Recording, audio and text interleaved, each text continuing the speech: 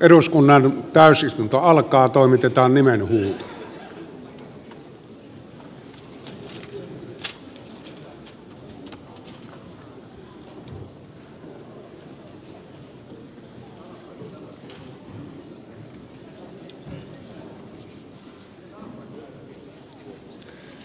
tasavallan presidentti on neljäs neljättä kaksituhattaneljätoista pyynnöstä vapauttanut bioanalyytikko kansanedustaja merja sinikka kyllösen valtioneuvoston jäsenyydestä ja liikenneministerin tehtävästä. Sekä puolueen puheenjohtaja valtiotieteen ylioppilaskansanedustaja paavo erkki arhinmäen valtioneuvoston jäsenyydestä ja kulttuuri ja urheiluministerin tehtävästä sekä käsittelemästä sosiaali ja terveysministeriön toimialaan kuuluvia asioita.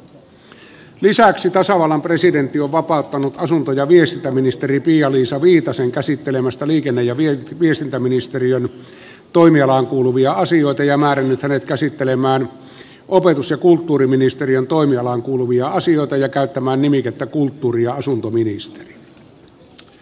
Tasavallan presidentti on määrännyt opetusministeri krista katriina kiurun käsittelemään liikenne ja viestintäministerin toimialaan kuuluvia asioita ja käyttämään nimikettä opetus ja viestintäministeri. Edelleen tasavallan presidentti on siirtänyt ja määrännyt hallinto ja kuntaministeri henna maria virkkusen liikenne ja kuntaministeriksi liikenne ja viestintäministeriöön sekä määrännyt hänet jatkamaan valtiovarainministeriön toimialaan kuuluvien asioiden käsittelyä. Valtioneuvosto on kolmas neljättä kaksituhattaneljätoista antanut eduskunnalle hallituksen esitykset kahdeksantoista kaksikymmentäyhdeksän tämän vuoden valtiopäivillä valtioneuvosto on kolmas neljättä kaksituhattaneljätoista antanut eduskunnalle selonteon julkisen talouden suunnitelmasta vuosille kaksituhattaviisitoista kaksituhattakahdeksantoista. Eduskunnalle ovat saapuneet edustajille jaetussa luettelossa mainitut vastaukset viiteentoista kirjalliseen kysymykseen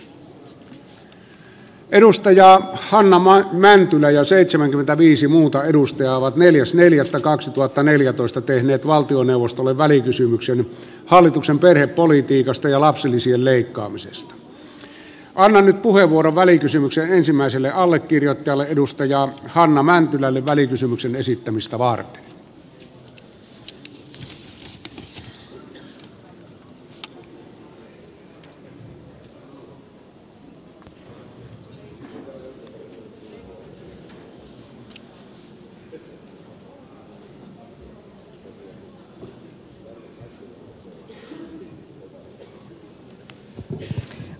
arvoisa puhemies hallitukselle on tänään jätetty vastattavaksi välikysymys jonka tässä luen. Hallitus maksattaa epäonnistuneen talous ja työllisyyspolitiikkansa tavallisilla ihmisillä. Leikkaukset kohdistuvat kipeimmin lapsiperheisiin. Hallitusohjelmassaan hallitus väittää tavoitteekseen luoda lapsille turvallinen kasvuympäristö ja turvata vanhemmille aineelliset ja henkiset mahdollisuudet synnyttää ja kasvattaa lapsia nämä tavoitteet ovat hyviä ja kannatettavia. Hallituksen keinot pyrkiä kyseisiin tavoitteisiin herättävät kuitenkin ihmetystä. Hallitusohjelmassa todetaan että perhepolitiikan kolme ydintä ovat palvelut tulonsiirrot sekä perheen ja työn yhteensovittaminen mutta käytännössä hallitus tekee kerta toisensa jälkeen ratkaisuja jotka vahvistamisen sijasta murentavat näitä kolmea ydintä lapsilisä tuli suomen lainsäädäntöön vuonna tuhatyhdeksänsataaneljäkymmentäkahdeksan pohjoismaisen mallin mukaan. Se on alusta asti ollut universaali etuus jolla halutaan tasata lasten huollosta perheille koituvia kustannuksia ja viestittää että yhteiskunta kannustaa lasten hankintaan. Lapsilisiä on leikattu ainoastaan kerran aikaisemmin lipposen hallituksen toimesta yhdeksänkymmentä luvun laman aikana päätös leikata lapsilisiä on nykyhallitukselta selkeä arvovalinta joka kasvattaa inhimillistä hätää etenkin perheissä joiden talous on tiukalla työttömyyden sairauden tai muiden ongelmien vuoksi. Suurimpia kärsijöitä ovat näiden perheiden lapset. Lapsilisien leikkauspäätös tuntuu erityisen vastuuttomalta kun tiedetään että lapsiperheiden köyhyys on kasvanut huolestuttavasti yhdeksänkymmentä luvun laman jälkeen lapsuudessa koetun köyhyyden seuraukset ovat moninaiset ja köyhyys myös periytyy sukupolvelta toiselle. Hallitus on luvannut lisätä lapsivaikutusten arviointia kaikessa päätöksenteossa. Onko näin tehty lapsilisäleikkausten suhteen? Lapsiperheissä on aina rahalle tarvetta. Keskituloisillakin perheillä kulutukseen menevät helposti kaikki saatavat tulot. Kustannuksia muodostuu muun muassa asumisesta ruuasta päivähoitomaksuista harrastuksista kuljetuksista vaatteista ja leluista. Lapsilisällä jonka indeksitarkastukset hallitus on jo aiemmin jäädyttänyt ei kateta edes murto osaa näistä menoista mutta kyseessä on kuitenkin yhteiskunnalta perheille suuntautuva tärkeä kädenojennus joka pitää omalta osaltaan talouden rattaita pyörimässä. Lapsilisiin kajoaminen ei ole ensimmäinen kerta kun nykyinen hallitus käy lapsiperheiden kimppuun viime syksynä hallitus päätti osana rakennepoliittista ohjelmaansa puolittaa kotihoidon tuen vanhempien kesken. Päätöstä perusteltiin tasa arvolla ja pyrkimyksellä nostaa työllisyysastetta mutta tosiasiassa kyseessä oli raaka leikkaus jolla kavennettiin vanhempien valinnanvapautta ja heikennettiin lasten asemaa. Ei ole yhteiskunnan asia sanella hoitaako lapsia kotona isä vai äiti jokainen perhe kyllä osaa itse ratkaista millainen järjestely heidän kohdallaan parhaiten toimii ja mikä on taloudellisesti järkevää. Vanhempien valinnanvapauden kaventaminen ei myöskään palvele tavoitetta perheen ja työn yhteensovittamisen parantamisesta. Samalla hallitus lisää kuntien kustannuksia kun lapsia tulee lisää päivähoitoon. Näistäkin päätöksistä uupuu todellisten kustannusvaikutusten arviointi mikä kuvastaa hyvin hallituksen politiikan kestämättömyyttä sen lisäksi että hallitus on epäonnistunut perhepolitiikassaan ja kuristanut lapsiperheiden elämää leikkaamalla tulonsiirtoja sekä vaikeuttamalla perheen ja työn yhteensovittamista se ei ole myöskään onnistunut parantamaan perheiden palveluita joilla parhaimmillaan olisi mahdollista ennaltaehkäistä monia vakavia ongelmia lapsiperheiden kotipalvelut ovat hyvä esimerkki inhimillisestä ja kustannustehokkaasta avusta jolla voidaan tukea uupuneita tai muuten vaikeassa tilanteessa olevia perheitä raskaimpien aikojen yli.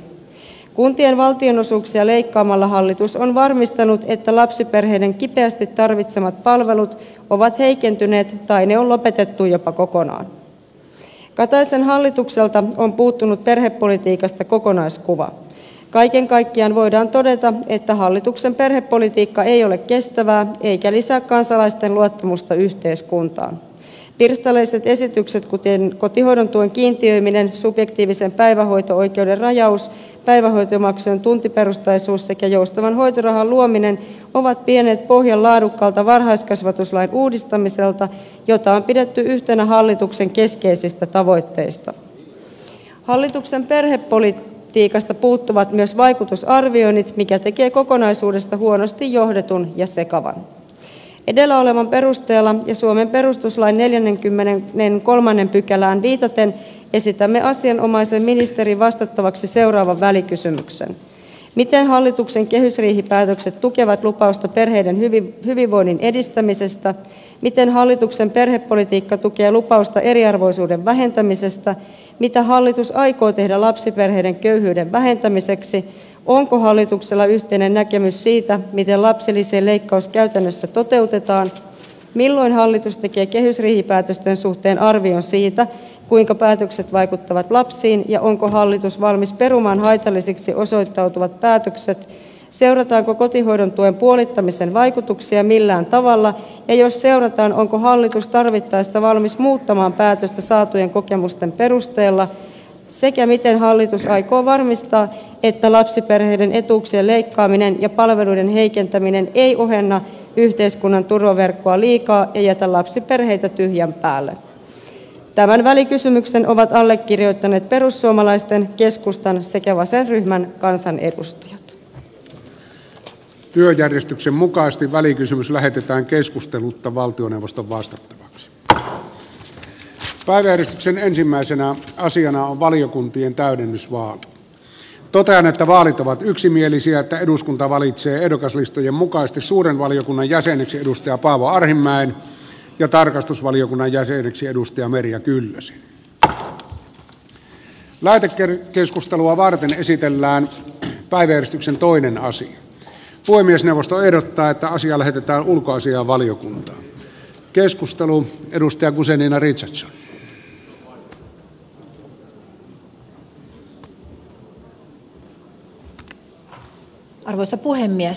Käsittelemme euroopan neuvoston parlamentaarisen yleiskokouksen vuoden kaksituhatta kolmetoista toimintakertomusta. Ja heti tähän alkuun on hyvä palauttaa mieleen että euroopan neuvosto on laajin ja vanhin eurooppalainen poliittinen yhteistyöjärjestö. Se perustettiin jo vuonna 1949 ja vaikka ensimmäisenä vuosikymmenenä Euroopan neuvostoa pidettiin enemmänkin länsimaiden järjestönä ja vain osa Euroopan maista oli sen jäseniä, nykyään kaikki Euroopan maat lukuun ottamatta valko ja Kosovoa ovat mukana. Suomi liittyi Euroopan neuvostoon 1989, Venäjä 1996. Jäsenmaita on yhteensä 47. Euroopan neuvosto on nykyään siis hyvin ainutlaatuinen ja tärkeä poliittinen kohtaamispaikka. Ja sen asema sekä poliittisena järjestönä että ihmisoikeuksia puolustavana järjestönä on korostunut entisestään viimeaikaisten Euroopan, Ukrainan ja Venäjän tapahtumien myötä. Sen huomaa myös, kun tarkastelee vuoden 2013 toimintaa ja tällä hetkellä niin sen eri komiteoissa kuin ensi viikon yleiskokouksessa esillä olevia aiheita. Esimerkkinä voi tähän alkuun todeta, että ensi viikon viisipäiväisessä yleiskokouksessa puhuu muun muassa Ukrainan pääministeri ja sen aikana käsitellään muun muassa Venäjän delegaation asemaa Euroopan neuvostossa. Arvoisa puhemies, minun on vaikea kuulla omaa puhettani. No niin, yritetäänpäs uudestaan, se kuuluisi paremmin. Kiitos arvoisa puhemies. Tiedän, että edustaja Kanerva kyllä kuuli.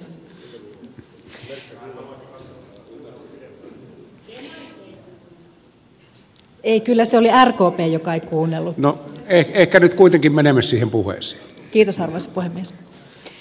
Jäsenyys Euroopan neuvostossa on ehdollinen. Liittyessään jäsenmaa on sitoutunut noudattamaan järjestön perusperiaatteita, noudattamaan oikeusvaltioperiaatteita ja kunnioittamaan kansalaisten perusoikeuksia. Euroopan neuvosto myös seuraa, miten jäsenmaat ovat noudattaneet sitoumuksiaan. Tämä seuranta koskee kaikkia jäsenmaita, myös Suomea. Valvontamekanismeja on useita sekä hallitusten välisellä puolella että parlamenttitasolla. Yleiskokous tarkastelee jäsenvelvoitteiden noudattamista perusarvojen toteutumisen kannalta. Jäsenmaiden heterogeenisuus ja erilaisuudet maiden demokratiaperinteissä johtavat usein hyvinkin vilkkaaseen keskusteluun, varsinkin viime vuosien aikana. Yleiskokous on kertomusvuonna keskustellut muun muassa siitä, miten kansainvälinen talouskriisi ja säästötoimenpiteet ja menoleikkaukset ovat vaikuttaneet kansalaisten perusoikeuksien toteutumiseen muun muassa yhdenvertaisuuden periaatteen näkökulmasta. Keskustelu viime kesänä esimerkiksi OECDn muuttuvasta roolista globaalin eriarvoisuuden vähentäjänä kannusti talousjärjestöä ottamaan entistäkin rohkeampia askelia kohti kestävän talouden tietä, jossa äkkivääriä julkisen sektorin leikkauksia pyritään vähentämään ja panostamaan rakenteellisiin ja pitkällä aikavälillä hyvinvointia parantaviin toimiin. Maahanmuuttajien ja pakolaisten tilanne on ollut hyvin usein esillä. Suomen delegaation jäsen Anne-Mari Virolainen toimi viime vuonna maahanmuutto- ja pakolaiskomitean puheenjohtajana ja sai laajaa kiitosta raportista, joka käsitteli kielteisen turvapaikkapäätöksen saaneiden maahanmuuttajien oikeuksien valvonnasta toteutumisen palauttamisen aikana. Sosiaali- ja terveys- ja kestävän kehityksen komiteassa on viime vuonna käyty keskustelua muun muassa Suomessakin paljon puhuttaneesta lastensuojelusta. Valmistelussa on ollut Venäjän delegaation kuuluvan Olga Borzovan raportti, jossa Britannian, Romania ja Suomen lastensuojelu on otettu tarkasteluun ja se tulee olemaan myöskin ensi viikon yleiskokouksessa keskustelussa. Viime vuoden ehkä eniten keskustelua herättänyt aihe oli Syyrian tilanne. Se on koskettanut ja vaikuttanut ja tulee koskettamaan ja vaikuttamaan pitkään Euroopan neuvoston jäsenmaita. Ja vaikka tällä hetkellä Syyrian tilanne on mediassa jäänyt Ukraina-uutisten varjoon, on Euroopan neuvoston jatkettava aktiivisuuttaan Syyrian ihmisoikeuksien toteutumisen puolesta. Arvoisa puhemies, sen lisäksi, että Euroopan neuvosto keskustelee lähialueidensa tilanteesta, keskustelu jäsenvelvoitteiden noudattamisesta yksittäisissä jäsenmaissa on ollut hyvin vilkasta – Yleiskokouksen seurantakomitean monitorointikomitean työskentely tapahtuu niin sanotusti in camera eli suljettujen ovien takana, mutta loppuraporteista keskustellaan ja jatkotoimenpiteistä päätetään yleiskokouksessa. Monet monitorointikomitean työlistalla olevista kymmenestä maasta ovat olleet tarkkailun alla jo kymmenen vuotta. Ja nyt Euroopan neuvostossa on selkeästi painetta muuttaa tätä monitorointijärjestelmää. Se ei tyydytä kaikkia jäsenmaita ja näin ollen on tärkeää, että Suomi on mukana myöskin tässä prosessissa. Nyt onkin voimakkaita paineita myöskin katsoa, millä tavalla eri jäsenmaat kokevat tämän monitorointijärjestelmän itseään kohtaan epäoikeudenmukaisena. On syytä selvittää, miksi ja, ja millä tavalla heidät voi saada myöskin tämän yhteisen pöydän ääreen. Vaikka jäsenvelvoitteiden seuranta ei tapahdu yhdessäkään EU-maassa, viime vuonna monitorointikomitea esitti kuitenkin Unkarin asettamista tarkkailuun. Itse voin omasta puolestani sanoa, että valitettavasti tämä esitys kaatui kuitenkin äänestyksessä, mutta Unkarin tilannetta seurataan nyt poliittisessa komiteassa. Yleiskokouksen vaalitarkkailut ovat osa jäsenvelvoitteiden seurantaa, eli yleiskokous lähettää valtuuskuntia seuraamaan parlamentti- ja presidentinvaaleja jäsenmaissaan, jotka ovat monitoroinnin kohteena. Vaalitarkkailua ei pääsääntöisesti tehdä muissa maissa ja sen vuoksi esimerkiksi Euroopan neuvosto ei tarkkaile sunnuntaina parlamenttivaaleja Unkarissa, jonne lähtee kuitenkin valtuuskunta Etyin yleiskokouksesta. Euroopan neuvoston yleiskokouksen seuraava istunto on siis jo ensi viikolla Strasbourgissa. Kokouksen kiireelliseksi lisäaiheeksi on ehdotettu Ukrainan tilannetta. Siitä tullaan tekemään päätös maanantaina. Ukrainan tilanne ja sen vaikutuksia maan demokraattisten instituutioiden toimivuuteen on syytäkin arvioida. Maanantaina alkavassa istunnossa äänestetään myös kahdesta hyvin poikkeuksellisesta aloitteesta, joista toisessa esitetään Venäjän valtuuskunnan valtakirjojen hylkäämistä ja toisessa venäläisjäsenten äänioikeuden poistamista. Istunnon vieraspuhina ovat, kuten ehkä jotkut teistä tietävät, Ukrainan pääministeri Arseni Jatsensuk ja EUn ministerikomitean puheenjohtajamaan Itävallan presidentti Fischer. Lisäksi ihmisoikeusvaltuutettu Niels Muisnik esittää parlamentaarikoille vuoden 2013 toimintakertomuksensa. Istuntoviikolla käsitellään myös kahden suomalaiskansanedustajan raportteja. Varapuheenjohtaja Kimmo Sasi.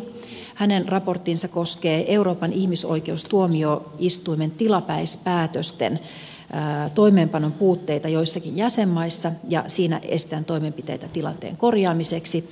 Ja kansanedustaja Jaana Pelkosen raportti Oikeus internetin saatavuuteen. Siinä todetaan, että internet on ihmisoikeuksien toteutumisen mahdollistaja ja siksi valtioiden tulisi valmistaa ja varmistaa internetin tasavertainen saatavuus kehittämällä lainsäädäntöä ja internetinfrastruktuuria. Tämä Jaana edustaja Pelkosen raportti käsitellään samanaikaisesti kyberturvallisuutta ja käyttäjäsuojaa koskevan raportin kanssa. Arvoisa puhemies, vielä haluan kiittää meidän Suomen valtuuskuntaa aktiivisesta toiminnasta. Valtuuskunnan jäsenet ovat olleet hyvin aktiivisia sekä täysistunnoissa että komiteatyössä. Valtuuskunta on lisännyt yhteydenpitoa tärkeiden sidosryhmien ja asiantuntijoiden kanssa Meillä on ollut säännöllisiä tapaamisia viimeksi eilen tasavallan presidentin kanssa, ulkoministerin kanssa viime viikolla, ulkoministeriön ja luonnollisesti Suomen pysyvän edustuston kanssa Strasbourgissa. Vastauspuheenvuoro edustaja Kanerva. Hyvä raportti, kiitoksia. Antoi hyvän kuvan siitä, missä mennään ja osin vähän samalla alueella, missä Suomen etyi-valtuuskunta ja parlamentaarinen etyi muutoinkin toimii päällekkäisyyksiä ei ole häiritsevästi, mutta tangeeraavia kohtia kovin monia.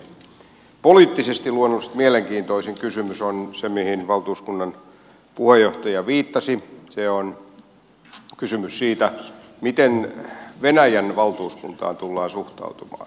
Ja niin kuin hän mainitsi, on kaksi eri aloitetta, joilla molemmilla on ikään kuin poliittisena signaaliarvona hyvinkin iso merkitys ja vaikutus. Ja mä oikeastaan olisin halukas tiedustelemaan puheenjohtajalta sitä, minkälainen on Suomen valtuuskunnan kanta, kun ensi viikolla näihin kysymyksiin otatte linjaa teidän pitämässä, te, pidettäväksi tulevassa kokouksessa ja minkälaista osviittaa tasavallan presidentti teidän eilisessä tapaamisessanne toi esille argumentaationa tähän kysymykseen? Ensinnäkin on todettava se, että valtuuskunnan puheenjohtaja Maria Kutsenina Richardson kesken kauden tulleena niin on hyvin oivallisella tavalla päässyt näihin asioihin käsiksi. Tässä edustaja, eh, kiitoksia edustaja Zyskovic, joka varmaan on kuullut, että näin on. Täällä edustaja Kanerva kiinnitti ihan oikealla tavalla huomiota näihin tärkeisiin asioihin. Euroopan neuvostohan tulee ensi viikolla olemaan se paikka, jossa Venäjä ja muu Eurooppa kohtaa. Ja tässä mielessä niin tämä tulee olemaan erittäin tärkeä ja nimenomaan se kysymys siitä, että millä tavoin me valtuuskuntana ja sen yksittäisinä jäseninä tulemme suhtautumaan näihin kahteen aloitteeseen, jotka koskevat Venäjän valtuuskunnan oikeuksia. Ja minusta, eh, puheenjohtaja täällä eh, puhuu kohta, niin on se tärkeää se, että Venäjän valtuuskunta täysin oikeuksin on siellä mukana, koska me tarvitsemme nyt enemmän kuin koskaan keskustelua Venäjän kanssa myös Euroopan neuvostossa. Edustaja Gusenina Ritsetson vastauspuheenvuoro. Niin, arvoisa puhemies, aivan kuten edustaja Kanerva totesi, Euroopan neuvoston foorumi on hyvin poikkeuksellinen juuri siinä, että siellä on EU ja siellä on Venäjä ja siellä on myöskin Ukraina paikan päällä ja se on hyvin uniikki debatin foorumi siinä mielessä, että siellä uskalletaan hyvin avoimesti ja, ja rehellisesti käydä tätä keskustelua siitä, millä tavalla konflikti saataisiin ratkaistua. Ja jos nyt sitten Venäjä suljetaan tämän foorumin ulkopuolelle. En kyllä näe, millä tavalla se hyödyttäisi Suomea, hyödyttäisi Eurooppaa, hyödyttäisi Ukrainaa, saatikaa globaalissa mittakaavassa yhtään ketään. Päinvastoin meillä täytyy olla hyvä neutraali foorumi, jossa, jossa kaikki osapuolet tuntevat olevansa tällaisessa rakentavassa ilmapiirissä, jossa asioista voidaan keskustella. Tapaaminen tasavallan presidentin kanssa, ulkoministerin kanssa on antanut meille Euroopan neuvoston Suomen delegaatiolle hyvin selkeät osviitat siitä, millä tavalla Suomella on tasapainoinen ja, ja hyvin laaja ymmärryksen näkemys siitä, millä tavalla me voimme myöskin olla mukana tässä dialogissa, ei poissulkemalla, vaan ottamalla osaa. Edustaja Sasi vastauspuheenvuoro. Tämän suomalaisten osalta on se, että olemme valtavirassa mukana ja pyrimme rakentamaan. Tosin toisaalta täytyy sanoa, että olennaista on se, että Euroopan neuvoston pitää pyrkiä myöskin ratkomaan ongelmia. Ja silloin kun Venäjä vallotti eh, Etelä-Ossetian ja Abhaasian, niin siinä yhteydessä hän tietysti Georgian eh, koskemattomuuden loukkaaminen tuomittiin voimakkaasti, mutta tehtiin hyvin kohtuullinen ohjelma, jolla pyrittiin ihan humanitaarisia ongelmia korjaamaan, muun muassa antamaan mahdollisuus ihmisille palata entisiin koteihinsa. Valitettavasti Venäjä ei ole toteuttanut tuosta ohjelmasta, vaikka toiveita oli yhtään minkäänlaista osuutta. Ja tietysti nyt ollaan siinä tilanteessa, että tietysti Euroopan neuvostossa, joka on ihmisoikeus- ja demokratiaorganisaatio, on mahdoton hyväksyä sitä, että jokin valtio valloittaa yhden osan toisesta valtiosta. Ja on täysin selvää, että neuvoston pitää voimakkaasti reagoida tähän Venäjän ei-hyväksyttävään käyttäytymiseen, mutta tärkeää on se, että Suomi on tältä osin yhteisessä eurooppalaisessa rintamassa.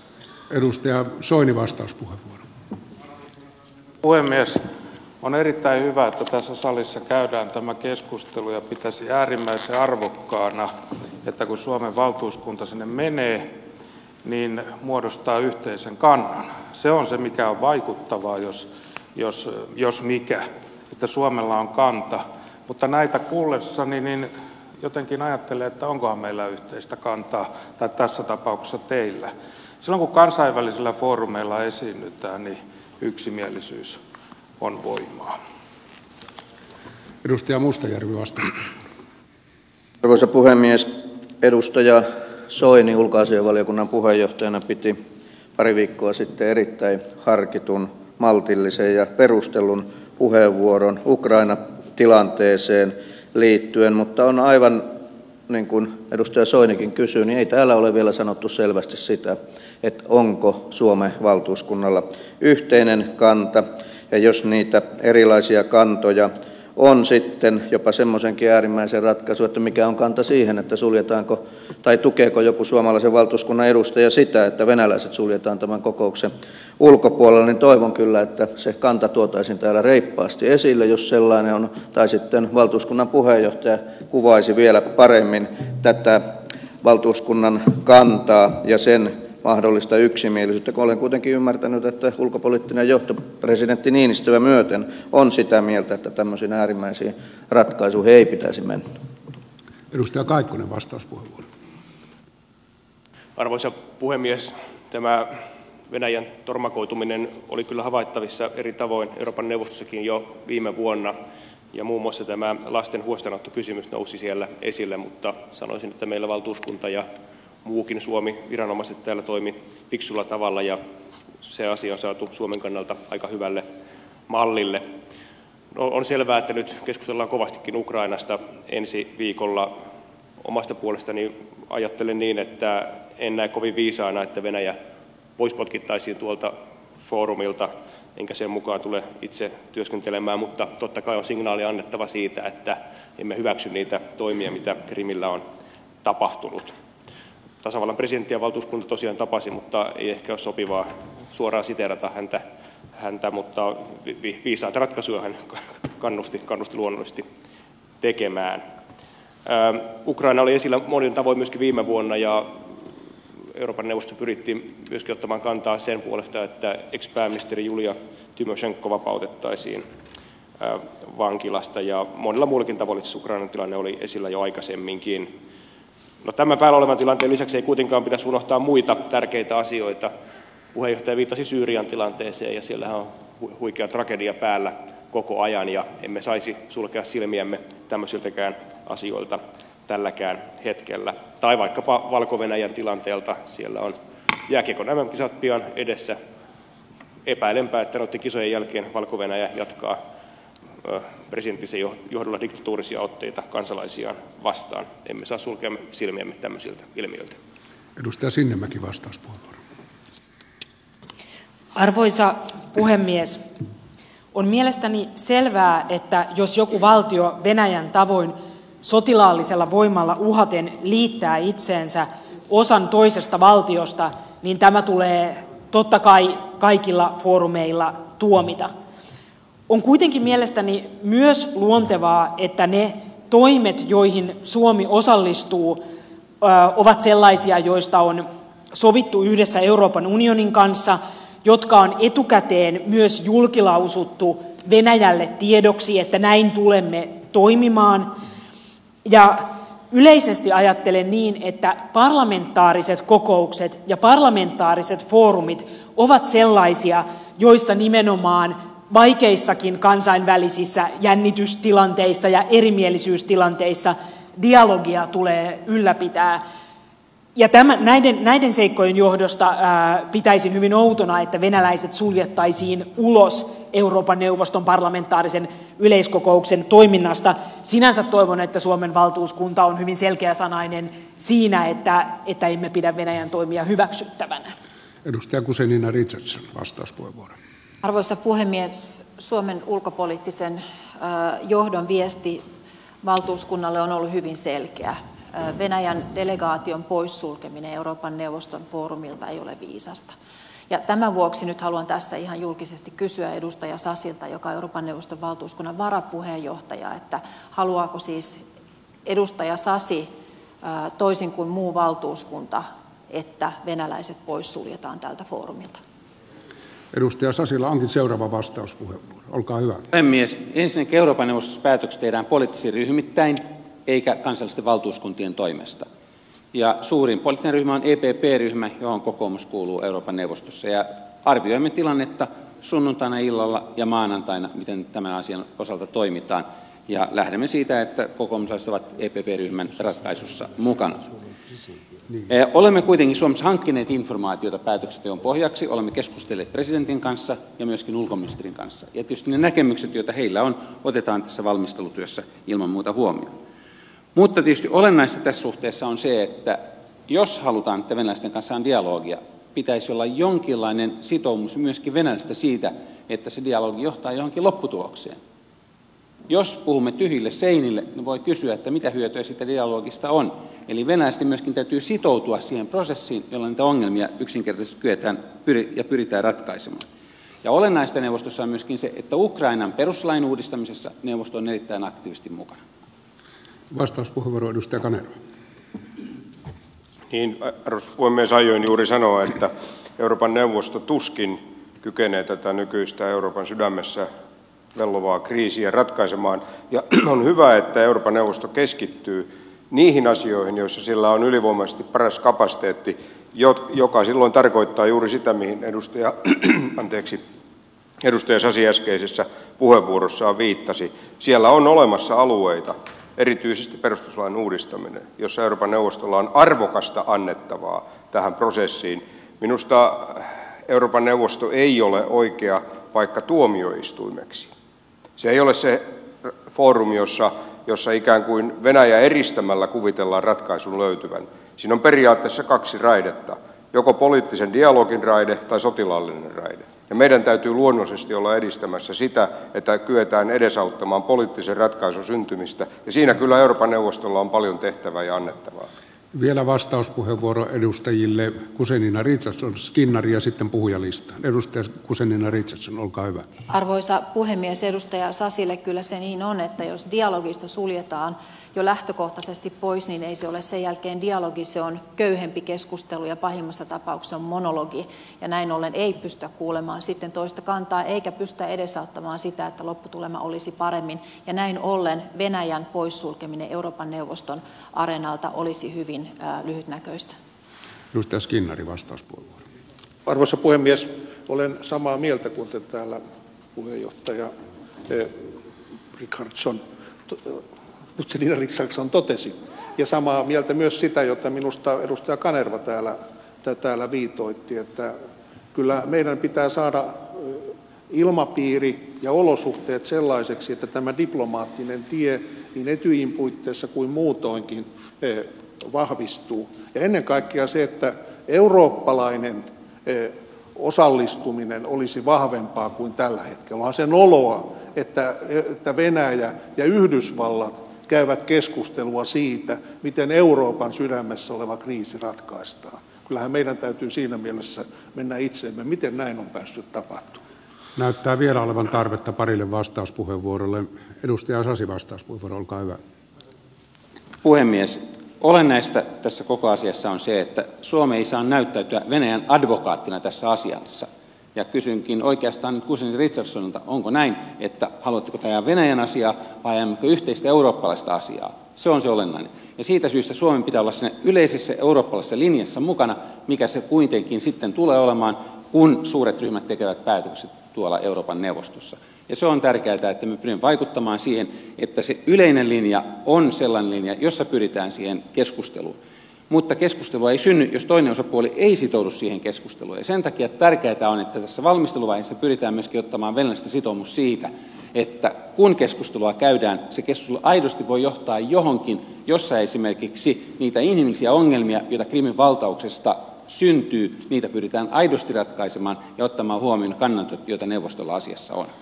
Ja vielä vastauspuheenvuoro edustaja Kusenina Richardson puhemies vaikka edustaja sasi edustaakin tässä ääripäätä niin se ei tarkoita että me muut olemme ääripään toisella puolella. On olemassa myös keskitie ja minun mielestä suomi on aina näillä foorumeilla kyennyt löytämään nimenomaan sen keskitien meillä on pitkät perinteet keskitiestä. Me ollaan oltu lännen ja idän puristuksessa niin pitkän aikaa. Me ollaan onnistuttu hyvinkin luovimaan sitten suomettumisen vuosien tässä hyvin vaikeassa tilanteessa ja nautitaan myöskin kansainvälisillä foorumeilla nimenomaan tällaisen välittäjän roolia ilman, että ollaan kumartuneena kumpaakaan suuntaan. Ja tätä kyllä peräänkuulittaisin tätä samaa asennetta myöskin ensi viikon Euroopan neuvoston yleiskokouksessa. No niin, nyt jatkamme puhujalistasta ja edustaja Pelkonen, olkaa hyvä.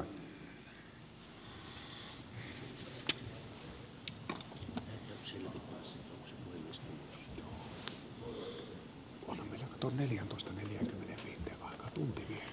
Arvoisa puhemies, tästä erittäin mielenkiintoisesta ja tärkeästä ajankohtaisdebatista sukeltaisin takaisin tähän Suomen valtuuskunnan viime vuoden kertomukseen ja erityisesti internet-asioihin.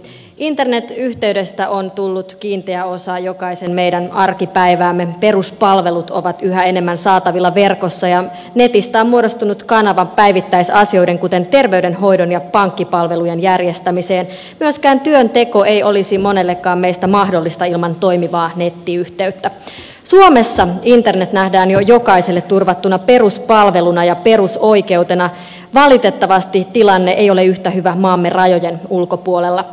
Vapaa media, ilmaisun vapaus ja internet ovat puhuttaneet paljon Euroopan neuvoston kokouksissa, kuten tästä käsittelyssä olevasta kertomuksestakin käy hyvin ilmi.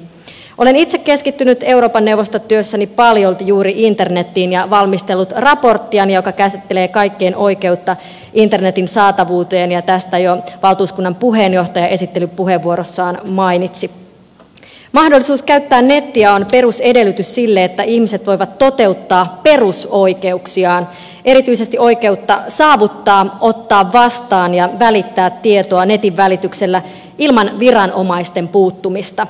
Vapaa internetin käyttö edistää paitsi sananvapautta myös muiden ihmisoikeuksien toteutumista internet edesauttaa esimerkiksi taloudellisten sivistyksellisten ja sosiaalisten oikeuksien sekä kansalais ja poliittisten oikeuksien toteuttamista. Nettiin pääsyllä on myöskin tärkeä rooli myös opetuksellisena työkaluna sen tuodessa tiedon ja tieteellisen tutkimuksen laajan yleisön tavoitettavaksi. Raportissani korostan myös sitä että samalla kun julkishallinto siirtää palveluja nettiin sen tulee myös varmistaa netin saatavuus kaikille muuten tasa arvo ei toteudu ja eriarvoistuminen vain lisääntyy. Kaikki ei kuitenkaan ole sallittua netissä ja sananvapautta voidaan ja pitää rajoittaa jos sitä käytetään lainvastaisesti. Arvoisa puhemies osana raportin valmistelua olen laatinut yhteistyössä muun muassa helsingin yliopiston tutkija riikka koulun kanssa euroopan neuvoston jäsenmaille suosituksia internetin saatavuuden varmistamiseksi kommentointiin ovat voineet osallistua kaikki halukkaat. Raportin käsittelyn yhteydessä perustettiin nimittäin avoin facebook sivu jossa oli mahdollista kommentoida raporttini tavoitteita. Oikeus internetin saatavuuteen oli myös viime marraskuussa järjestetyn eurooppalaisten viestintäministerien konferenssin pääteemoja. Sain ilon ja kunnian pitää tuossa kokouksessa suomen puheenvuoron siitä miten netin saatavuus on elinehto perusoikeuksien toteutumiselle raporttini the right to internet access on käsittelyssä euroopan neuvostossa ensi viikolla ja siihen voivat kaikki halukkaat tutustua tarkemmin euroopan neuvoston nettisivuilla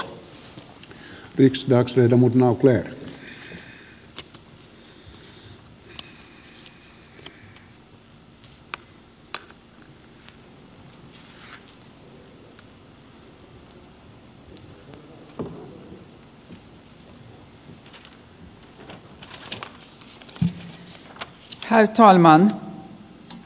De konflikter som idag sysselsätter oss mest är som bekant interna Historien bakom dem är av stor betydelse men inte alls lätt att förstå. Missuppfattningarna vad som gäller eller borde gälla är många och, den finns, och det finns mycket god vilja till att sprida ut osanningar och villfarelser. Då är fakta viktigt. Vi lever i en ytlig värld där medierna lätt sprider en förenklad bild. Ungern är ett land som inte kontrolleras särskilt men sedan plötsligt sattes under lupp efter att oro för demokratins utveckling väckts hos många.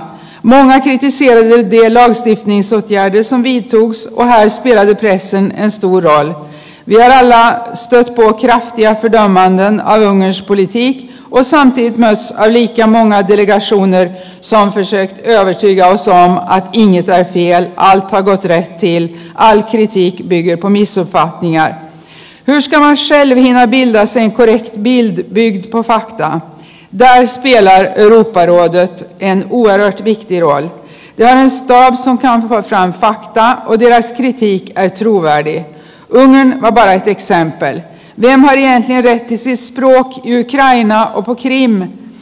Eh, vem är minoritet och vem är majoritet? Vem har enligt internationella standarder rätt att ge medborgarskap till sin diaspora och vem har inte, etc. etc. Vad gäller detta kunde, denna konflikt kunde mycket ha gjorts, men mycket kan fortsättningsvis göras. Eh, Minoriteter, flerspråkighet, minoritetsrättigheter, självstyrelse, ursprungsbefolkning. Finland har den erfarenhet som behövs. Som tidigare sagts handlar det inte bara om Krim utan om Transnistrien, Abkhazien, Sydostasien etc. Och jag behöver väl inte säga att de har alla besökt Åland. Problemen och de områden det gäller är ofta detsamma för Europarådet och OSSE. Därför gäller det att vi håller jämna steg och ger samma signal som så riktigt påpekas. Men särskilt viktigt är det just nu när vi har kriser för nära inpå oss. Ett genomgående tema i rapporten är hur den långvariga recessionen påverkar individernas rättigheter. Man är orolig för medborgarnas jämlikhet, särskilt tillgången till social och hälsovårdstjänster och övrig grundtrygghet hotas av de nödvändiga sparåtgärderna. Av rapporten kan vi läsa att de finansiella åtstramningarna i Europa alltmer spänner snaran kring de svagaste människorna i samhället. Hit hör åldringar, sjuka, barn, marginaliserade grupper, flyktingar etc. Den ekonomiska krisen drabbar också samhällets intakthet. Vi ser allt mer samhällen i europeiska länder som polariseras i sociala skikt vi vill inte få ett Europa som liknar Brasiliens Rio, för att ta ett vanligt exempel. Den ekonomiska krisens sparkrav försvårar dessutom finansieringen av stödåtgärder för kvinnor som utsätts för våld. I en rapport om situationen i Europa konstateras att trots att nästan 30 procent av kvinnorna utsatts för våld någon gång i livet Tyvärr, eh, som det också konstateras i rapporten, så förringas eh, ofta förekomsten av detta våld i hemmet och det gäller inte minst i Finland. Europarådets konvention om förebyggande och bekämpning av våld mot kvinnor och våld i hemmet, den så kallade Istanbulkonventionen, den hör till Europarådets område. Den har inte Finland ratificerat och det finns det anledning att kritisera men den internationella kritiken av Finland är inte alltid korrekt. Jag, jag anser att den metod som Finland använder är den rätta, att först ändra lagstiftningen och genomföra åtgärderna, men nu är det dags att slutföra. Vid utgången av 2013 hade konventionen ratificerats av åtta medlemsländer, men det krävs ännu två ratificeringar för att den ska träda i kraft och, och i Finland pågår just nu arbetet med det och det är viktigt att det sker så snart som möjligt. Avslutningsvis, en sak som skulle ha behövt mer uppmärksamhet är cyberspionaget som är alarmerande både för individernas integritet och myndigheternas verksamhet. Cyberspionage bör tas på största allvar och ägnas större uppmärksamhet. Sitten tiivistelmä suomeksi. Arvoisa puhemies, maailmassa on paljon konflikteja. On erittäin tärkeää, että tiedämme myös, mikä niiden historiallinen tausta on. Mediassa esiintyy paljon asioita, jotka eivät sinänsä pidä, pidä paikkaansa ja lehdistöllä on erittäin suuri rooli. Esimerkiksi Unkarin tapauksessa oli paljon väärä, vääränkinlaista tietoa ja, ja ongelma oli kansalaisten kannalta, miten voidaan saada oikea kuva tilanteesta. Tässä Euroopan neuvostolla on suuri rooli. Se voi tuoda esiin faktoja, jotka pitävät paikkansa. Olisi tietysti voitu tehdä, tehdä paljon Unkarinkin tapauksessa on olemassa paljon muitakin alueita, joissa vähemmistö- ja itsehallintoasioita ja niin edelleen käsitellään ja, ja ne ovat ajankohtaisia. Suomella on näistä, asioita, näistä asioista paljon kokemusta. Tässä Euroopan neuvoston työssä on paljon kehuttavaa ja raportin läpäisevänä teemana on pitkäaikaisen laman vaikutus yksilöiden oikeuksiin. On olemassa huoli kansalaisten tasa-arvosta ja sosiaali- ja terveyspalvelujen saatavista, myös perusturvasta. Kaikki nämä ovat näiden säästötoimien takia uhattuina. Voimme myöskin lukea raportista, että taloudelliset säästötoimet kohdistuvat voimakkaasti yhteiskunnan heikoimpiin, esimerkiksi vanhuksiin, sairaisiin lapsiin ja niin edelleen. Ja nämä säästö, säästövaatimukset ovat myöskin vaikeuttaneet naisiin kohdistuvan, kohdistuvan väkivallan ehkäisemistä. Rahoitusta ei riitä näihin toimenpiteisiin. Ja Euroopan tilannetta tutkivassa raportissa on kuitenkin todettu, että lähes 30 prosenttia naisista on joskus elämänsä aikana kohdannut väkivaltaa. Ja kuten raportissa todetaan, näitä asioita usein vähätellään. Väkivaltaa kodeissa esiintyy eikä vähiten Suomessa.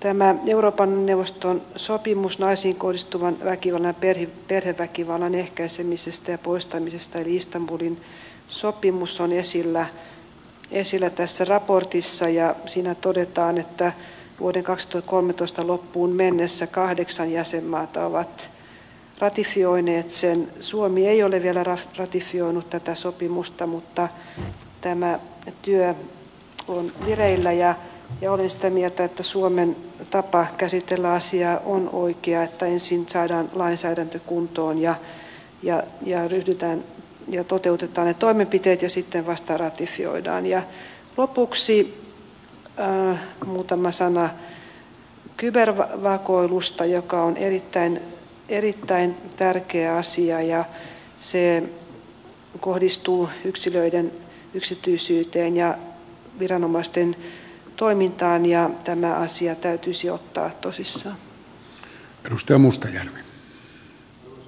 Puhemies, tässä Euroopan neuvoston Suomen valtuuskunnan kertomuksessa on oma kappaleensa Ukrainasta ja siihen liittyen tuli mieleen Joonas Pörstin kirjoitus Ulkopolitiikka-lehdessä 2008 vuodelta, jossa hän hyvin osuvasti kuvasi, mitä tuleman pitää, ja myöskin se, että mikä on Venäjän lähtökohta Ukrainan tilanteessa. Ja kun hän esitti tämän raportin kirjoittaja yhden ainoan vaihtoehdon siitä, mitä hän ennustaa tulevaksi, niin kyseessä oli paljon muutakin kuin veikkaus. Se kyllä perustui aika lailla syvään asiantuntemukseen ja osaamiseen.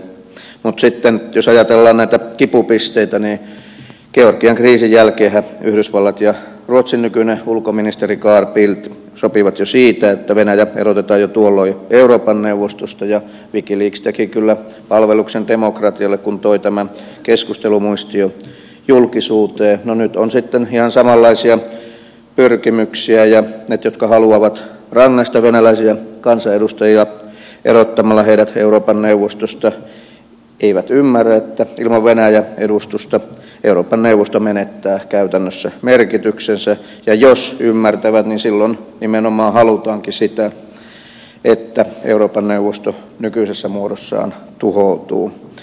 Yhdysvalloillahan ei ole äänivaltaa tässä yleiseurooppalaisessa järjestössä, mutta Yhdysvaltoja on pitkään harmittanut Euroopan neuvosto aktiivisuus muun muassa kuolemantuomioiden vastaisessa taistelussa, samoin kuin Euroopan neuvosto on ollut eturintamassa paljastamassa CIAn salaisia ja laittomia vankikuljetuksia ja pidätyskeskuksia esimerkiksi Puolassa, Romaniassa ja Liettuassa. Ja toivon kyllä, että Suomessa löytyisi malttia, kaukokatseisuutta niin paljon, että Suomen edustajien kanta olisi yhdenmukainen ja samanlainen kuin se kuulostaa olevan nyt presidentti Niinistöllä.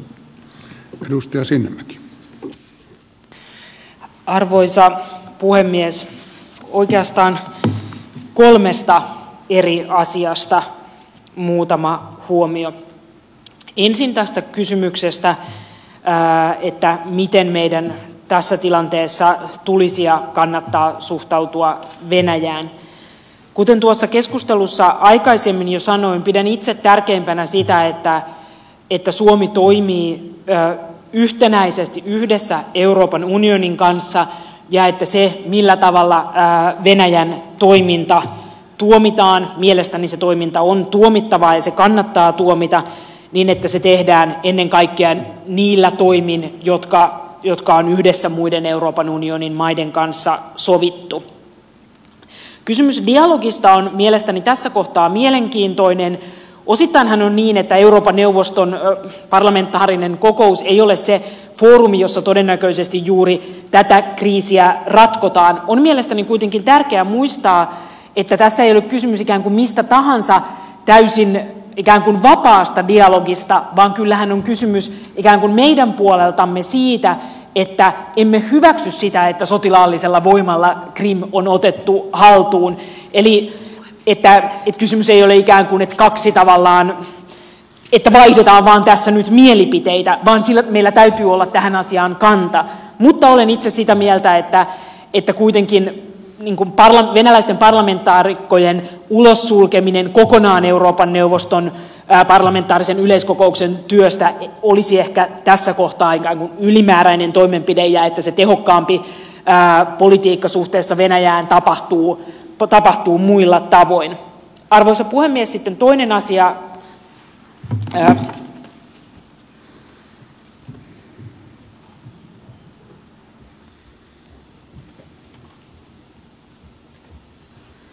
Arvoisa puhemies, jatkan tästä. Toinen asia koskien Ukrainaa Uskon, että, että Euroopan neuvostolla on paljon annettavaa siihen tilanteeseen, missä Ukraina nyt on.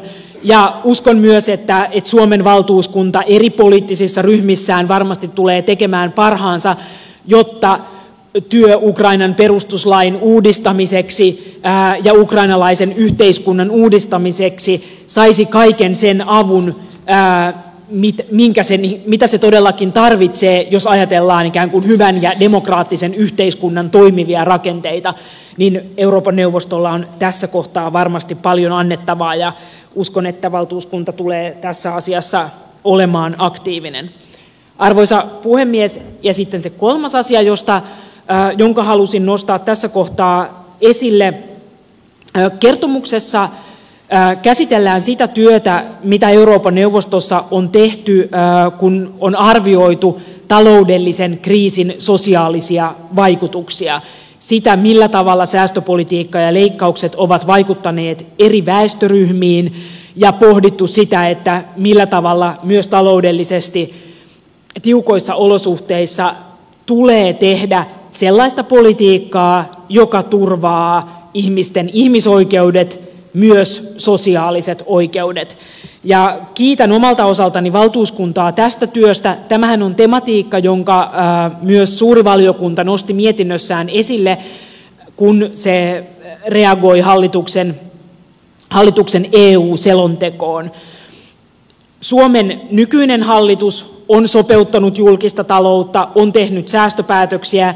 Se on tehty niin, että on koko ajan pidetty silmällä sitä, että tuloerot Suomessa eivät näiden säästöpäätösten myötä kasva. Se on tehty sillä tavalla, että on haluttu ottaa erityisesti huomioon heikoimmassa asemassa olevien, olevien ihmisten tilanne. Ja toivon, että, että Suomen valtuuskunnan jäsenet varmasti omalta osaltaan voivat tätä Suomen oppia myös viedä eteenpäin. Itse uskon siihen, että, että silloinkin kun julkista taloutta sopeutetaan, on aina monia vaihtoehtoja tehdä se, on tärkeää huolehtia siitä, että veropohjaa laajennetaan ja veroja kerätään riittävästi. Sosiaalisesti oikeudenmukaista politiikkaa voidaan tehdä taloudellisesti hyvin erilaisissa olosuhteissa ja meidän täytyy kaikkien työskennellä sen eteen, että, että tämä sosiaalinen peruskirja tulisi ratifioiduksi ja että sitä myös valvottaisiin kaikkialla Euroopassa. Ei ole pidemmän päälle hyvä tilanne se, että ikään kuin valvotaan vain joidenkin, joidenkin maiden osalta ihmisoikeuksien toteutumista, vaikka tilanteet ovat joissain maissa parempia kuin joissain toisissa, niin meillä on kaikilla itse asiassa tekemistä sen eteen, että, että myös koulutukselliset, taloudelliset ja sosiaaliset oikeudet toteutuvat. Edustaja Sasi.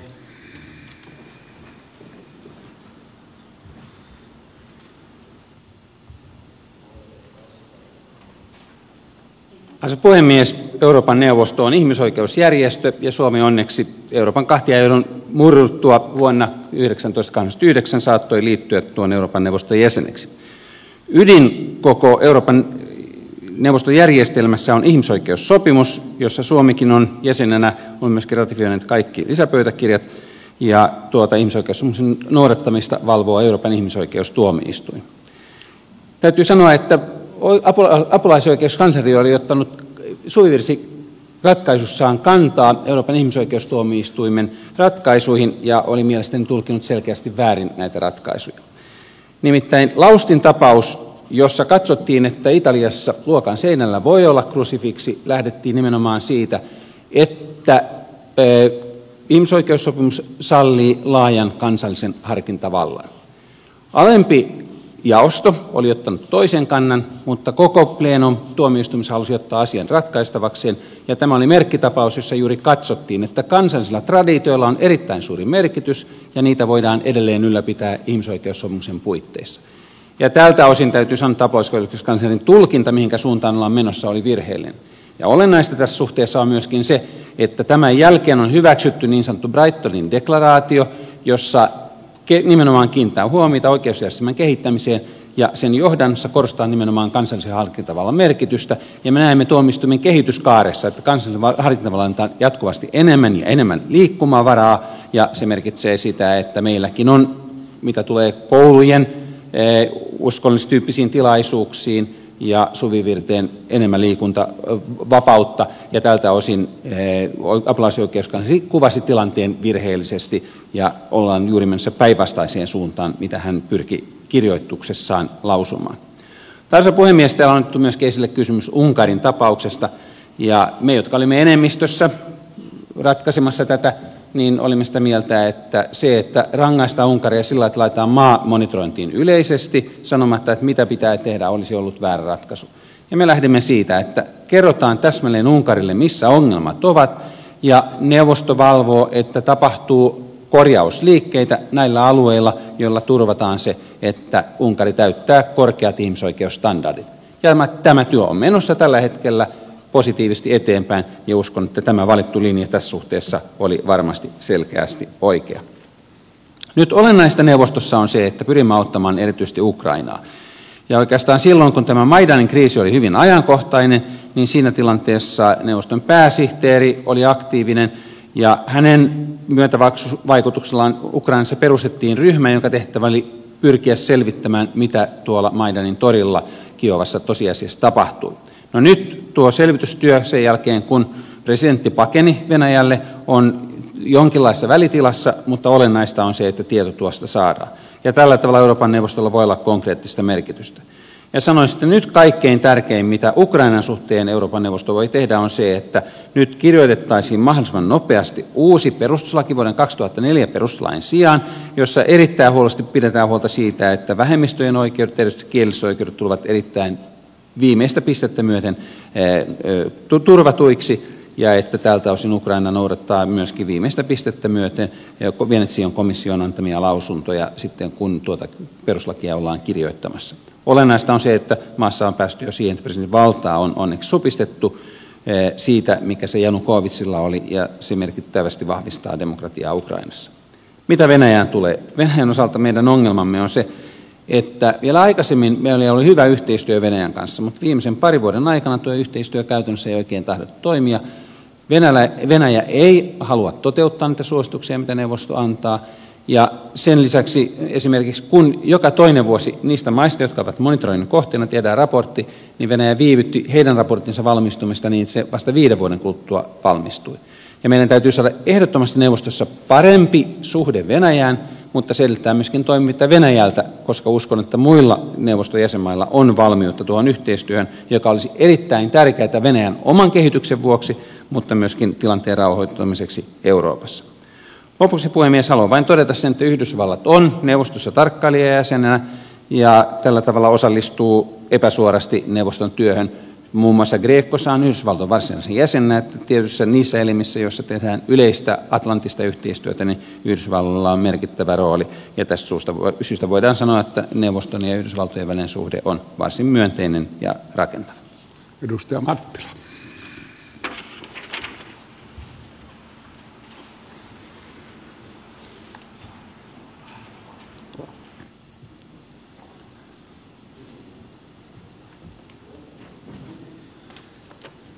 Arvoisa herra puhemies, kiitoksia kertomuksen esittelystä valtuuskunnan puheenjohtajalle ja kiitos myös valtuuskunnalle kuluneesta työstä, jota on tehty ja se myös jatkuu tämän ihmisoikeusjärjestön parissa, josta myös tilastot kertovat kieltään oikeusvaltioperiaatteen edistämisestä, joka on, kuten kertomuksessa todetaan, olennainen osa demokratian ja ihmisoikeuksien toteutumisen kannalta. Kenttä on laaja kysymyksiä käsitellään niin arabikevään jälkimainingista kuntakysymyksiinkin. Sillä ovathan muun muassa muutamat suomen kunnat kirjelmöineet alueiden komitealle suomen hallituksen lainsäädännöstä koskien kuntauudistusta muun muassa salla savukoski sulkava sysmä. Ja kenttä on laajenemassa kuten olemme huomanneet krimin kriisin ja tilanteen kärjistymisen kohtalaisen nopeastikin. Ja tämähän on kuin kylmän sodan henkäys lämpöisten olympiakisojen jälkeen. Diplomatian tie olkoon suomen tie ja se lienee myös varmasti euroopan neuvoston tie aloittaa kriisin ratkaisua. Ja niin myös varmaan tämäkin yleisistunto alkaa ja toivon mukaan todellakin niitä aitoja ratkaisuja etsien kaikkien jäsenmaiden jäsenvelvoitteiden noudattamiseksi.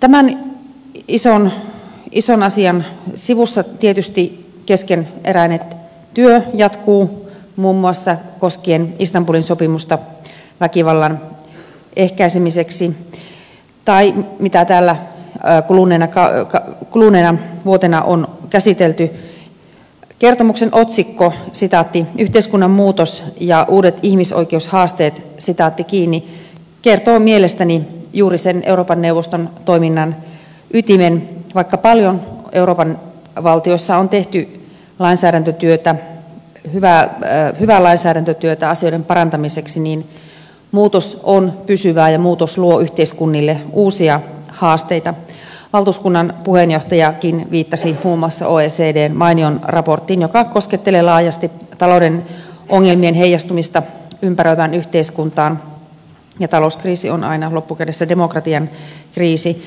Tällä hetkellä eurotalous on, taantumassa ja Eurooppaa vaivaa paha nuorisotyöttömyys.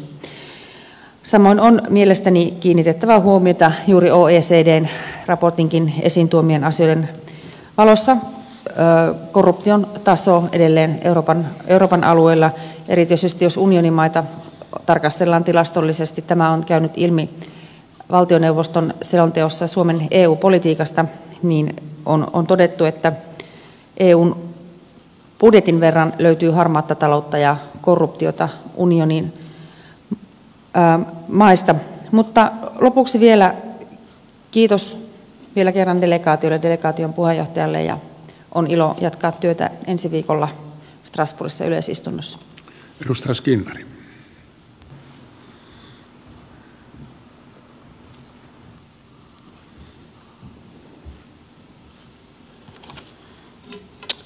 Arvoisa puhemies, ensi viikolla on todellakin hyvin merkittävä Euroopan neuvoston kokous, jossa Venäjä ja muu Eurooppa on läsnä keskustelemassa näistä kysymyksistä niin itse istuntosalissa kuin näissä komiteoissa ja erityisesti sitten käytävillä. Ja tämä keskusteluhan on tärkeää ja minusta Suomen linja pitää olla sellainen, että me luomme edellytyksiä sille, että diplomaattisin toimenpitein pystytään tämä Ukrainan ympärillä oleva kriisi ratkaisemaan. Ja täällä jo aikaisemmin totesinkin oman kantani siihen, että Venäjää ei tule, tule eristää, vaan se pitää olla mukana kaikissa tilanteissa. Jo yksistään venäläisten näkökulmastahan Euroopan neuvosto on tärkeä. Euroopan ihmisoikeustuomioistuimeen suurin osa kanteluista ja valituksista on nimenomaan venäläisten. Ja tässä suhteessakin niin olisi väärin, että me suljettaisiin pois kansakunta ja sen edustajat, joka on Euroopan neuvoston valtuuskunnista kaikista suurin. Onhan Venäjällä 142 miljoonaa ihmistä, eli enemmän kuin missään muussa Euroopan neuvoston jäsenmaassa. Olen itse tässä sosiaali kestävän kehityksen ja talouskomiteassa e, ottanut esille, ja siitä tehtiin selvityskin, pankkikriisin vaikutuksista Euroopan neuvoston jäsenmaihin. Ja tämä on jo näissä kriisimaissa myös ihmisoikeuskysymys, koska ihmisten toimeentulon taso on laskenut niin paljon, että voidaan kysyä myös ihmisoikeusten perään. Ei tarvitse mennä johonkin muihin maihin, kun pysyy vain euromaissa ja katsoo, mikä siellä kansalaisten tilanne, niiden, jotka kadulla mellakoivat työttöminä jo useamman vuoden olleina. Ja tämä on yksi tällainen ihmisoikeusasia, joka on oikeastaan tämä pankkikriisi monen asian taustalla. Se on myös Ukrainan eh, taustalla. Ja kun täällä on tullut puhetta tästä, millä tavoin Suomi Ukrainaa taloudellisesti tukee, niin osana Euroopan unionin eri elimien rahoitustukia, niin Suomi on aina mukana omalla vajaan kahden prosentin osuudellaan. Ja Euroopan unionihan on nyt 200 miljoonaa euroa laittanut likoon, 400 on vielä tulossa ja sitten on luvattu 11 miljardia lähivuosina. En tiedä mistä rahoista nämä annetaan, koska pankkikriisi ja Euroopan unionin jäsenmaiden omatkin tarpeet täytyy ottaa huomioon. Mutta näin joka tapauksessa komissio ja sen puheenjohtaja ovat, ovat esittäneet. Missä on se raja, jossa Euroopan unionin ulkopuolista maata tuetaan? Se on tässä se yksi olennainen kysymys. Ja täällä on Unkaria jo käsiteltykin. Unkarissa tämä ihmisoikeusasia on aika mielenkiintoinen siinä mielessä, että muodollisesti kaikki tapahtuu demokraattisesti, mutta tämä valtapuolue on saanut sellaisen vallan, jossa sivistynyt vallankäyttö joutuu kuulema monesti vaikeuksiin siinä mielessä, että vallanpitäjät voivat menetellä sillä tavoin kuin ei pitäisi. Näin unkarilaiset itse kertovat. Ja se on myös otettava huomioon. Syyrian osalta ei Euroopan neuvostokaan ole paljon pystynyt tekemään, eikä myöskään valko osalta.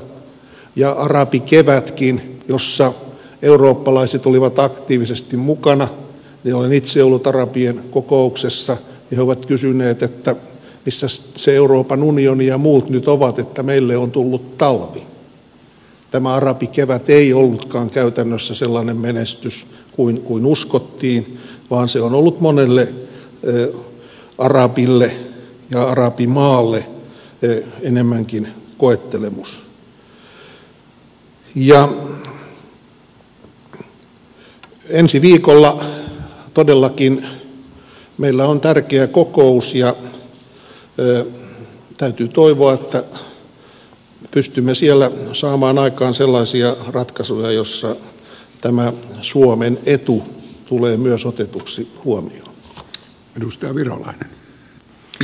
Arvoisa puhemies, tässä on jo useassa puheenvuorossa tullut esiin se, kuinka tärkeässä yleiseurooppalaisessa roolissa tai, tai tällaisessa poliittisessa keskustelufoorumissa Euroopan neuvosto on, kun, on, kun keskustellaan ihmisoikeuksista tai sitten moniarvoisesta demokratiasta tai vaikkapa oikeusvaltioperiaatteen turvaamisesta ja erityisesti sen kehittämisestä.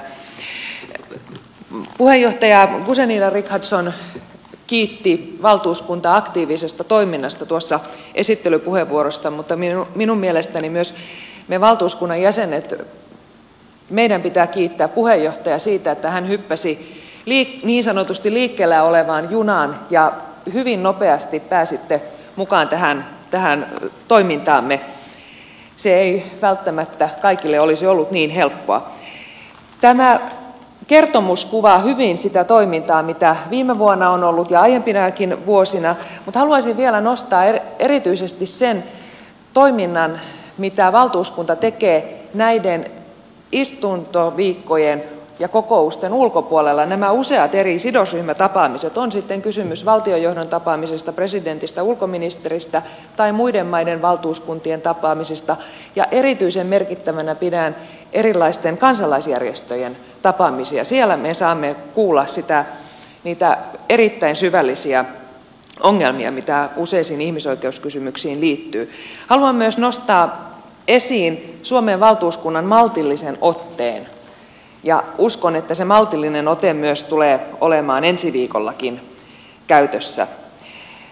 Monissa raporteissa, kun käymme keskustelua siellä, niin tuomme myös suomalaisen näkökulman, miten Suomessa on tehty asioita. Se tulee esiin myös meidän tekemissä raporteissa, kuten edustaja Pelkosella nyt ja oma pakolaisraporttini viime vuonna.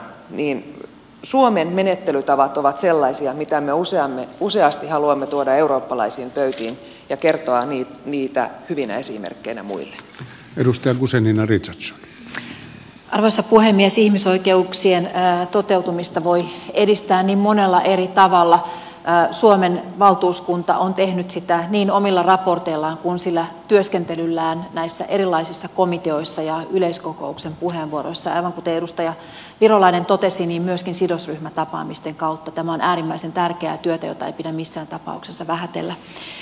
Edustaja Sinnemäki nosti esille tämän OECD-raportin, jota on Euroopan neuvostossa käsitelty hyvinkin perusteellisesti. Ja haluan nostaa tässä esille yhden termin, joka nousi siellä, se on hysteresis.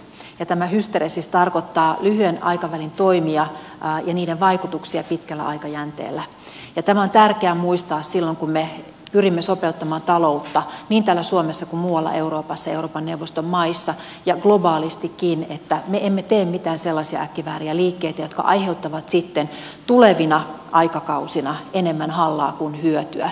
Ja tässä on ehkä vähän samanlaista hysteresis-ilmiöstä kysymys, kun me puhutaan siitä, että pitäisikö Venäjän delegaatio pois sulkea Euroopan neuvoston foorumilta.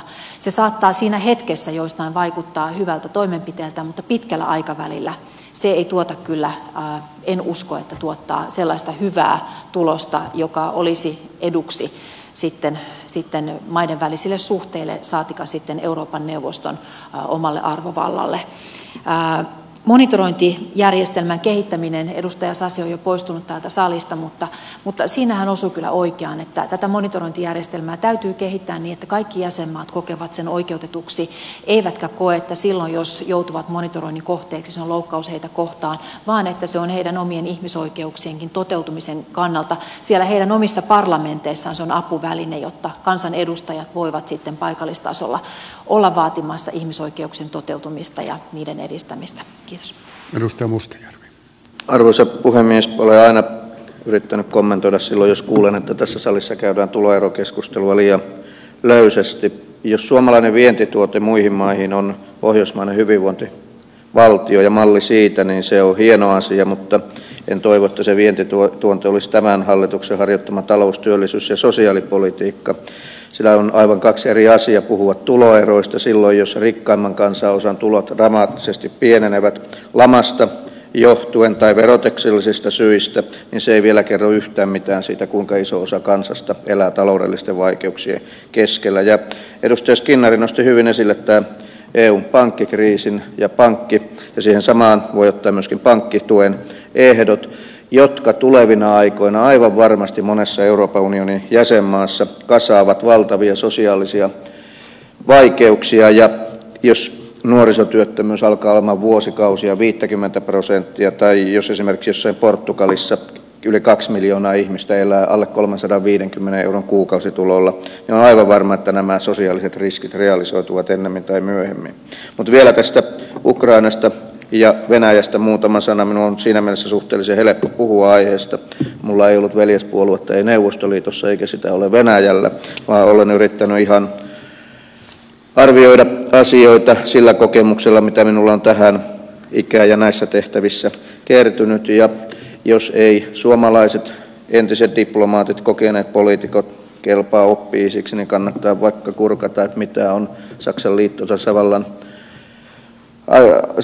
liittotasavallassa aikoinaan liittokanslerina toiminut Helmut Schmidt sanonut Ukraina-kriisistä. Ja olen kyllä tyytyväinen siitä, että ainakin Suomen valtuuskunnan puheenjohtaja näyttää olevan, niin kuin valtaosa jäsenistäkin, hyvin kartalla ja hyvillä linjoilla suhteessa Ukraina ja Venäjä. Edustaja Sinnemäki. Arvoisa puhemies,